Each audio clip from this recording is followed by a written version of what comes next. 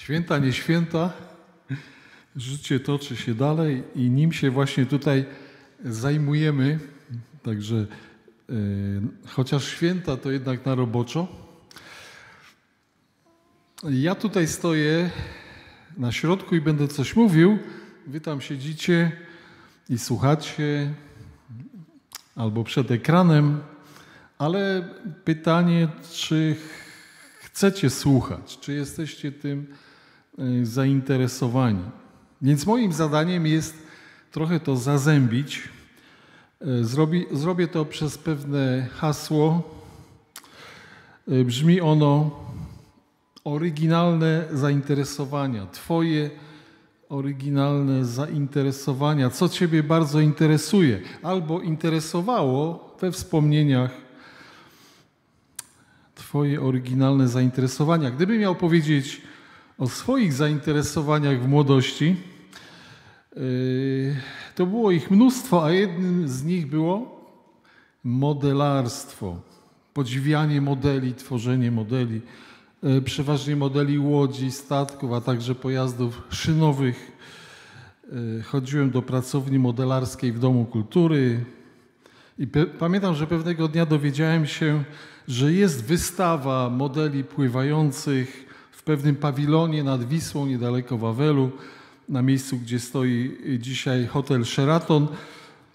Było już ciemno, padał deszcz, ale pobiegłem tam podziwiać modele. Zainteresowania. Obiektem zaciekawienia były też szopki krakowskie. E, bo w tamtych czasach były dziełem bardzo poważnym. Wystarczy nadmienić, że stała wystawa szopek krakowskich mieściła się w Pałacu Krzysztofory przy rynku głównym. Były pełne e, ruchomych postaci, tajemniczych świateł, zainteresowania. Dzisiejszym odpowiednikiem są może trochę gry komputerowe. No właśnie, jakie są Wasze zainteresowania? Będzie można o tym opowiedzieć w ostatniej części naszego wspólnego, wspólnotowego spotkania e, w kręgach zainteresowania. E, chciałbym powiedzieć dzisiaj o czymś szczególnym, o pewnym szczególnym zainteresowaniu, o którym możemy przeczytać w Biblii e, w liście do Hebrajczyków 11. Popatrzmy. Bez wiary zaś nie można podobać się Bogu. Przystępujący bowiem do Boga musi uwierzyć, że Bóg jest i że wynagradza tych, którzy Go szukają. Co to jest za zainteresowanie? Gdzie tu jest o zainteresowaniu? Wyraża to słowo szukają. Jak człowiek jest czymś zainteresowany, to tego szuka. Yy, tak jak tamtego wieczoru przed laty prawie biegłem przez całe miasto, by zobaczyć wystawę modeli, szukałem. No a tu jest szukanie Boga, zainteresowanie Bogiem. Jak dzisiejszy człowiek na to reaguje, na możliwość zainteresowania Bogiem? Bardzo często mówi: Nie jestem zainteresowany. Nie interesuje mnie to. Daj mi spokój. Nie rozumiesz? Nie interesuje mnie to. I można by to pominąć yy, i po prostu, skoro to kogoś nie interesuje, i pobiec dalej. Mówię tak z perspektywy przeciętnego człowieka w naszym społeczeństwie, ale jest tutaj coś, co nas zatrzymuje, bo co tu czytamy? O, Bóg wynagradza tych, którzy go szukają. Jeżeli ktoś się autentycznie zainteresuje nim, Bogiem, on obiecuje, że wynagrodzi. I mówi to nie byle kto, mówi to ktoś, kto jest wszechmocny, kto jako jedyny potrafi dać człowiekowi wszystko, potrafi wynagrodzić. Właśnie ten ktoś, kto potrafi dać pomyślność w każdej dziedzinie mojego życia, a więc szukając go, będąc nim zainteresowanym, nagle pachnie to jakąś najlepszą ścieżką przez życie. Dlatego dzisiaj o tym zainteresowani Bogiem, jak to jest z tym zainteresowaniem, interesowaniem się Bogiem. Na co to zainteresowanie się przekłada, w czym się wyraża. I popatrzmy najpierw na pewne przykłady e, zainteresowania Bogiem w Biblii. Ewangelia Mateusza 2. Gdy zaś Jezus narodził się w Betlejem, w Judei, za panowania króla Heroda, oto mędrcy ze wschodu przybyli do Jerozolimy i pytali, gdzie jest nowonarodzony król żydowski? Ujrzeliśmy bowiem jego gwiazdę na wschodzie i przybyliśmy oddać mu pokłon. No, ciekawe. Mędrcy ze wschodu, zainteresowani, przyjechali z daleka, by poznać ten majestat. Ale skąd im się to wzięło? Skąd mogli o tym wiedzieć, o narodzeniu Jezusa? Impulsem były jakieś zjawiska astrofizyczne, byli badaczami nieba i coś na tym niebie zobaczyli. Z tego wynika, że to, co działo się w sferze ducha, przyjście Syna Bożego na świat, Syn Boży przyjął ciało człowieka, tajemnica wcielenia, to niezwykłe absolutnie wydarzenie za wolą Boga znalazło jakieś odbicie w astrofizyce i stało się zauważalne dla znawców. Światy duchowe stworzone przez Boga, anioły, niektóre z nich upadłe, Lucyfer, szatan i aniołowie, którzy poszli za nim, to, co się wtedy w tej, czy w tych sferach zdarzyło, niepojęte dla naszych zmysłów, za wolą Boga znalazło jakieś przebicie do naszego materialnego świata, do którego właśnie przychodził Syn Boży. No i coś z tego wyłapali ci mędrcy ze wschodu. Co więcej, ci mędrcy, jak widzimy, wiedzieli, że to zjawisko jest związane e, z narodem Izrael. Mówią o narodzeniu żydowskiego króla, a więc co jeszcze wiedzieli? Skoro wiedzieli, że chodzi o Żydów, to zanim udali się w daleką podróż do Jerozolimy, z pewnością udali się do jednej z żydowskich synagog, które w tamtych czasach były rozsiane po całym cywilizowanym świecie. Diaspory żydowskie znajdowały się od Hiszpanii po Chiny. Żydzi wszędzie tworzyli synagogi, a w tych synagogach w, tamtych, w tamtym czasie można było poznać pisma Starego Testamentu, przetłumaczone już na język grecki, powszechnie używany. I było wtedy spore zainteresowanie w tamtym świecie tym zjawiskiem. Jak mówimy dzisiaj o zainteresowaniach, to było relatywnie wielkie zainteresowanie tym, e, co można było wyczytać w tych księgach, zwojach, w tych żydowskich synagogach. I wielu pogan w tamtych czasach chodziło do żydowskich synagog, by poznawać Boże Słowo Pisma Starego Testamentu, które mówiły o czym? Mówiły o zbliżającym się przyjściu Mesjasza. Więc jest całkowicie niemożliwe, by ci mędrcy ze wschodu nie wiedzieli o tym wielkim oczekiwaniu na Mesjasza. I w tej sferze astrofizycznej zdarzyło się coś, co nie pasowało do znanych im zjawisk, co było niewytłumaczalne inaczej niż właśnie wszystko zaczęło pasować. Mesjasz, zbieramy się i jedziemy do Palestyny. Mieli wyobrażenie, że to będzie jakiś król. Przyszli go szukać, by dowiedzieć się więcej.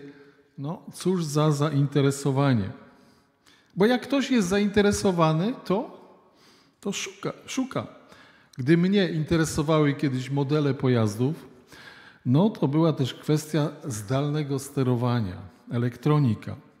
Więc jak inaczej niż szukać, zapisać się do jeszcze jednej pracowni w Domu Kultury, pracowni elektronicznej i wertowanie schematów elektronicznych w poszukiwaniu układów zdalnego sterowania. Mędrcy ze wschodu byli zainteresowani.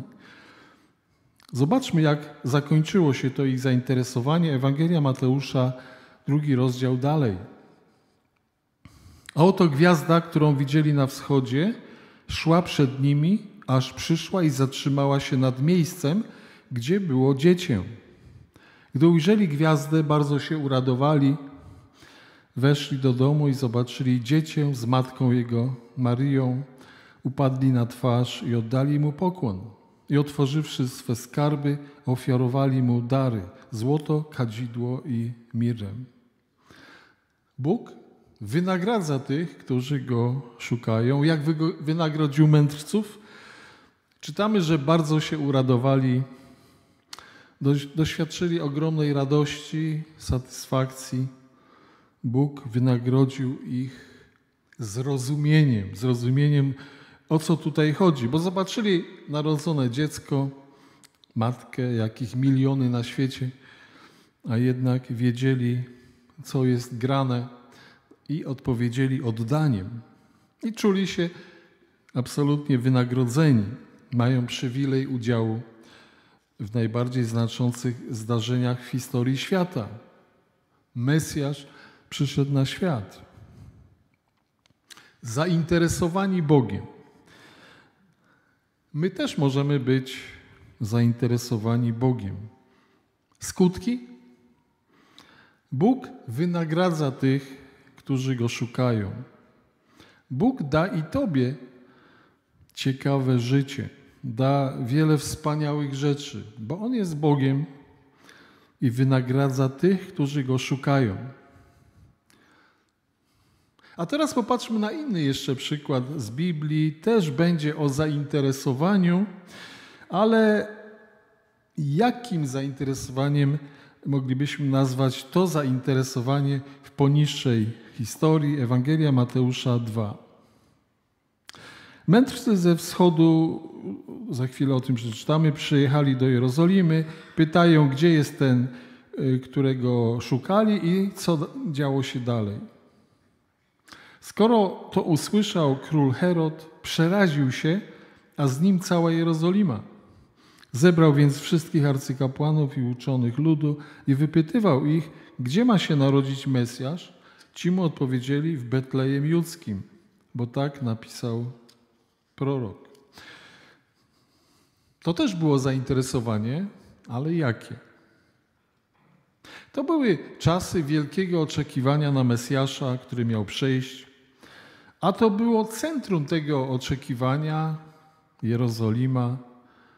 Było około 300 proroctw zapowiadających przyjście Mesjasza E, był to czas wielkiego oczekiwania e, w narodzie, którego to najbardziej dotyczyło. I oto elektryzująca wiadomość. Pierwsze fakty: Mesjasz przyszedł. A jak zareagowała Jerozolima? Przerażeniem. Niby oczekiwali, wyglądali, a jak to się zaczęło dziać, to co z ludzi wypłynęło? Radość? Poczucie spełnienia? Nie. Wypłynął strach, obawa. O co? W przypadku każdego z tamtych ludzi. Jak to wpłynie na ich własne plany? Również król Herod bał się o swoje plany. A więc jak moglibyśmy nazwać to zainteresowanie tamtych ludzi Mesjaszem? Pozorne zainteresowanie. Niby zainteresowanie Bogiem, ale tak naprawdę sobą, swoimi sprawami.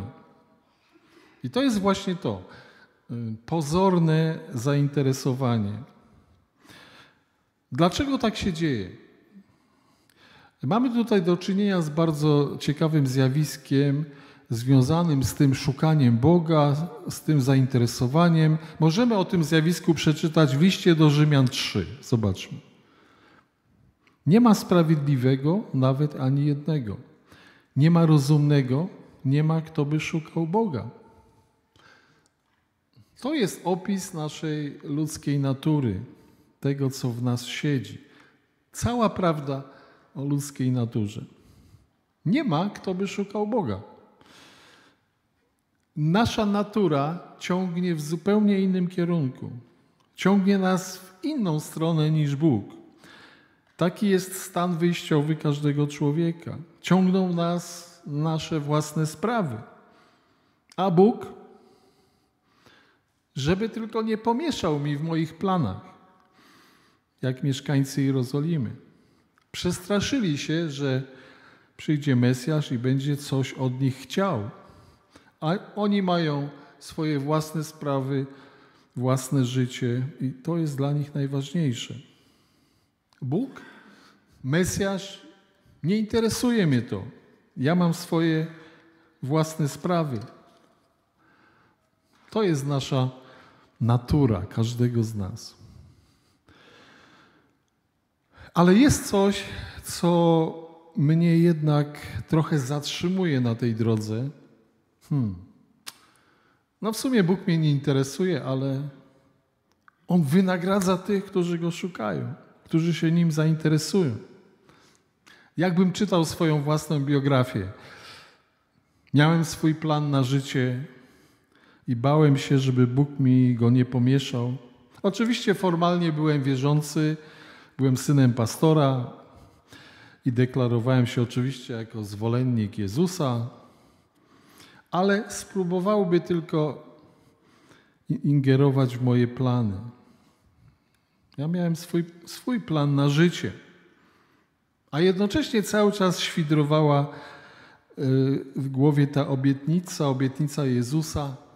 Ja przyszedłem po to, aby owce miały życie w obfitości. To ja daję pełnię życia. Zobaczmy, Bóg stawia nam tutaj wyzwanie całkowicie na przekór naszej naturze. Chcąc mieć pełnię życia, trzeba szukać Boga ale nasza natura ciągnie nas w zupełnie inną stronę. Co potrzebujemy zrobić? Jakie jest rozwiązanie? Pomoże nam w tym jeszcze jeden przykład Ewangelia Łukasza 2. A żył w Jerozolimie człowiek imieniem Symeon. Był to człowiek prawy i pobożny, wyczekiwał pociechy Izraela, a Duch Święty spoczywał na nim. Jemu Duch Święty objawił, że nie ujrzy śmierci, aż zobaczy Mesjasza Pańskiego.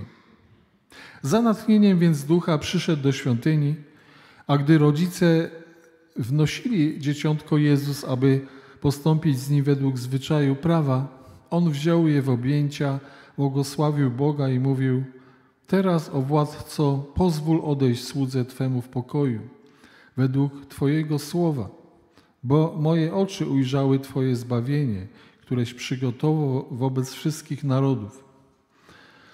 W naturze człowieka jest to, że nie szuka Boga, ale tutaj widzimy, że u niektórych dzieje się inaczej. Także szukają go, są zainteresowani, jak ten człowiek Symeon. Skąd im się to bierze? Odpowiedź jest w tej historii. Jest to wniesione przez Ducha Świętego.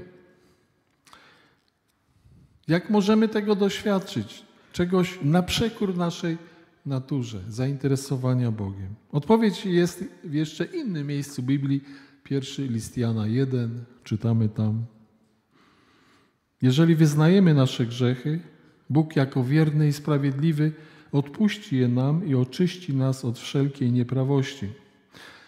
Potrzebujemy wyznać Bogu swój stan, że nie ma w nas pragnienia szukania Go, że ciągnie nas do naszych własnych spraw, ale teraz wyznajemy Jemu nasz stan w nadziei, że On nas zmieni, tak? że oczyści nas z nieprawości, czyli z postawy lekceważenia Go i da nam takie nowe serce, serce szukające Boga. I to wyznanie, czy takie wyznanie jest decyzją naszej woli otwierającą nas na Jego działanie.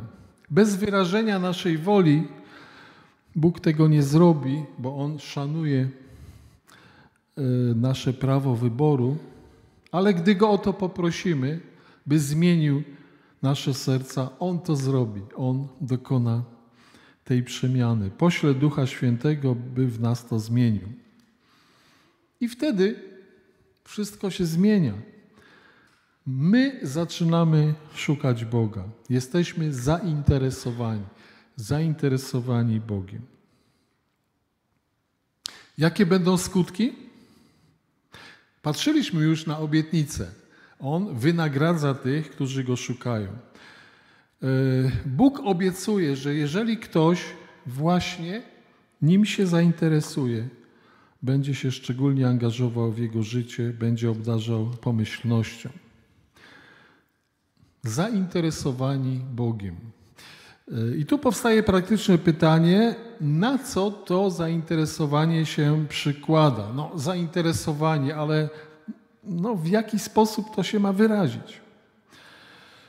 Skoro takie było moje zainteresowanie w młodości, zdalne, zdalnie sterowane modele, y, dzisiaj można taki model kupić no, dosłownie co krok, ale wtedy w ogóle. Y, skoro to było moje zainteresowanie, poruszałem się po takim czworoboku. Y, dom, gdzie miałem książki, czasopisma, schematy, szkice, składnica harcerska, gdzie były materiały modelarskie przy rynku głównym, sklep z częściami elektronicznymi przy ulicy Długiej, no i dom kultury, y, gdzie były pracownie i instruktorzy. I moje zainteresowanie wyrażało się poruszaniem, poruszaniem się w tym czworoboku. A jak się wyrazi nasze zainteresowanie Bogiem? Co będzie się znajdowało na naszej trasie, jeżeli autentycznie się nim zainteresujemy?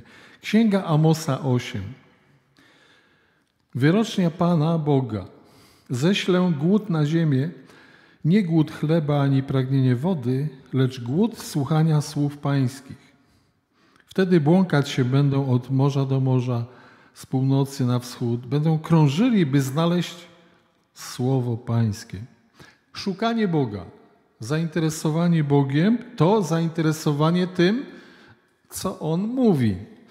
Dążenie, by usłyszeć, co mówi. A mówi przez swoje słowo, czyli można powiedzieć, Biblia i ja. To mój podręcznik, moje schematy, w jaki sposób to moje zainteresowanie Bogiem się wyrazi? W jaki sposób się ujawni? E, jednym ze sposobów, których doświadczają ci, którzy szukają Boga, jest tak zwany osobisty czas skupienia, czas z Bogiem, Biblia i ja, by go poznawać. Jak to jest z tym moim zainteresowaniem Bogiem? E, patrzyliśmy na parę przykładów zainteresowania pozytywnych i mniej pozytywnych, mędrcy ze wschodu, mieszkańcy Jerozolimy, Symeon. Do którego z tych przykładów jest podobne moje zainteresowanie Bogiem? Może jednak trochę do mieszkańców Jerozolimy. No, czekali na Mesjasza, ale tak naprawdę, no, żeby tylko nie pomieszał w ich planach. Yy, czy we mnie jest prawdziwe zainteresowanie Bogiem? Zobaczmy, jaką zasadę podaje Izajasz, Księga Izajasza 50.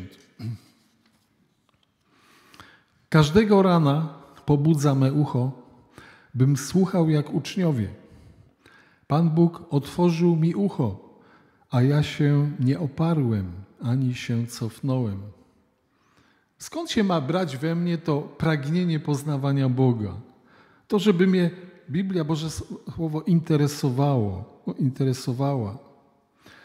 Jak widać, potrzebujemy w tym pomocy Boga, bo nasza natura działa przeciwnie, ciągnie nas w inną stronę i potrzebujemy pomocy, by Bóg, jak tu czytamy bardzo obrazowo, otworzył nam ucho, pobudził me ucho, czyli tak naprawdę napełnił mnie chęcią A ja potrzebuję mu na to pozwolić, przyjąć postawę ucznia, zrezygnować z uporu, oporu. Potrzebuję mu na to pozwolić, a on zrobi resztę. Boże, wypełnij moje serce pragnieniem poznawania Ciebie, bo ja w tym zawodzę. Spraw bym był zainteresowany. Bo jak będę zainteresowany Tobą, to Ty zajmiesz się moim życiem i dasz mi wspaniałe rzeczy. Może komuś to wydawać się dziwne, że mamy prosić Boga, by sprawił, byśmy byli nim zainteresowani, ale jest to jedyne realne podejście do tematu, uwzględniające prawdę o naszej starej naturze. Do nas należy jedna rzecz decyzja woli, by mu na to pozwolić. A on ma sprawić, żeby mi zależało. Taka jest prawda. I on jest gotowy każdego ranka pobudzać moje ucho, czyli napełniać mnie pragnieniem, żeby mi się chciało, żeby mi zależało. Wiecie co? Przeżywam to osobiście trzy razy w tygodniu. Trzy razy w tygodniu. O, widzę, że się zainteresowaliście. Dlaczego akurat trzy razy w tygodniu? Bo no, mam też ten osobisty czas z Bogiem, czas skupienia, te kilka chwil sam na sam z Bogiem. I jest y, tak, że biorę kolejny odcinek Bożego Słowa. Obecnie jest to Księga Apokalipsy Jana, jestem w piątym rozdziale. I mam taki system, że co drugi dzień biorę kolejny fragment, a następnego dnia przypominam sobie ten z poprzedniego, żeby lepiej zapamiętać. Tak? To pozwala mi pamiętać, o, czy, o czym czytałem, y, wracać czasami do tego w ciągu dnia. Taki system. I słuchajcie, zawsze w ten dzień, gdy powtarzam, czyli gdy odrobiłem się poprzedniego dnia, taka myśl. No super, to już mam odrobione. I wtedy zawsze druga myśl. Jak ty traktujesz Boga? Że już się odrobiłeś, już nie musisz. Dzisiaj rozumiem, że tak działa moja stara natura, która jest przeciwna. Boże, wyznaję Ci, że znowu potraktowałem Ciebie w ten sposób, że to, co ja mam robić później, jest dla mnie ważniejsze od tego, by słuchać, co Ty masz do powiedzenia, Boże, zmieniaj moje serce, Ty jesteś najważniejszy dla mnie. Tak się wyraża i tak się toczy moje osobiste zainteresowanie Bogiem. Ale to jeszcze nie jest najważniejsza odpowiedź na pytanie, jak wyrażać swoje zainteresowanie Bogiem. Jest coś jeszcze ważniejszego. Yy jak najlepiej wyrazić swoje zainteresowanie Bogiem. To, że no, myślę o sobie, że się Bogiem interesuję, no skoro tak, no to, to jak to ma się wyrażać? Ewangelia Marka 4. W wielu takich przypowieściach głosił im naukę, o ile mogli ją rozumieć, a bez przypowieści nie przemawiał do nich. Osobno zaś objaśniał wszystko swoim uczniom. Jak najlepiej wyrażać swoje zainteresowanie Bogiem? Jest coś ważniejszego niż ten osobisty czas z Bogiem. Jezus powołał swoich uczniów. Zaprosił ich do małej grupy, by właśnie w tej grupie następowało największe poznawanie Boga. On ich zaprosił do małej grupy, a oni odpowiedzieli. Zostawili wszystko i poszli za nim, by współtworzyć razem tą małą grupę jego uczniów. Ustawili to jako najwyższy priorytet. I to też jest ścieżka dla nas. To jest największa, najważniejsza odpowiedź na pytanie, jak wyrażać swoje zainteresowanie Bogiem. Moje zainteresowanie Bogiem najpełniej wyrazi się w tym, że Będę uczniem w małej grupie uczniów, współtworząc tą grupę. Pragniesz wyrazić swoje zainteresowanie Bogiem? Dołącz do kręgu uczniów. Wszyscy jesteśmy przede wszystkim uczniami. Ktoś musi oczywiście poprowadzić, prawda, ale absolutną podstawą jest to, że każdy z nas jest uczniem, jeżeli jest.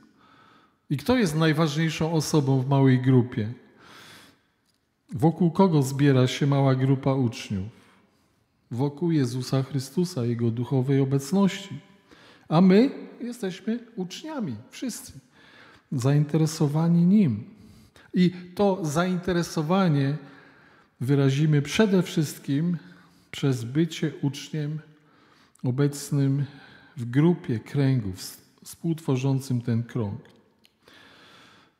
I to jest pierwszy priorytet. To należy do pierwszego priorytetu naszego życia, jakim jest Bóg. Na pierwszym miejscu. Więc pytanie, no, czy to jest pierwszy priorytet dla Ciebie? Bądź współtworzącym grupę uczniów, poczuj się jak uczeń. Pytanie, czy wiernie współtworzysz Twoją grupę uczniów, czy też jest coś ważniejszego od tego? Y, czy jak przychodzimy na tą grupę, jesteśmy nastrojeni na to, by poznawać Boga i to nas interesuje? Tam najlep najlepiej poznamy Boga, nawet lepiej niż w osobistym czasie z Bogiem. A więc dajmy ujście temu zainteresowaniu Bogiem, a Bóg obiecuje, że nie pożałujemy, że On szczególnie będzie dawał pomyślność tym, którzy w ten sposób są nim zainteresowani. Być może dlatego w naszej wspólnocie doświadczamy szczególnej pomyślności od Boga, ponieważ to właśnie dla nas jest najważniejsze. I moglibyśmy w zasadzie już zakończyć temat, gdyby Jezus nie zakończył go w inny jeszcze sposób. Ewangelia Mateusza 28. Idąc, czyńcie uczniów ze wszystkich narodów. Kiedy już jesteśmy sami uczniami, w małej grupie uczniów, przychodzi powołanie, które daje nam Jezus, by to się pomnażało na cały świat. Byśmy wywoływali taki ruch, który będzie się rozprzestrzeniał na cały świat. E, możemy to czynić po prostu zachęcając ludzi wokół nas, by w podobny sposób byli zainteresowani Bogiem. Jak możemy to robić? Jak możemy wypełnić to polecenie Chrystusa? Przekazując ludziom wokół nas tą najważniejszą myśl. Dlaczego warto interesować się Bogiem? Bo On wynagradza tych, którzy Go szukają. Więc można wyobrazić sobie taki dialog, który nastąpi między Tobą a e, kimś z Twojego otoczenia. Mówisz do kogoś, czy interesujesz się Bogiem? Na to ktoś odpowiada, nie jestem zainteresowany. Nie interesuje mnie to, ale pomyśl, daj mi spokój, nie rozumiesz? Nie interesuje mnie to. Ale czy mogę Ci powiedzieć tylko jedną myśl? Tylko jedną. No dobra, a potem się odczepisz ode mnie, ok? Ok. Jedna myśl. Bóg wynagradza tych, którzy Go szukają. Będziesz miał lepsze życie. Jak ten ktoś zareaguje? Oczywiście konsekwentnie. Nie interesuje mnie to, daj mi spokój. A jednak ta myśl zacznie go świdrować.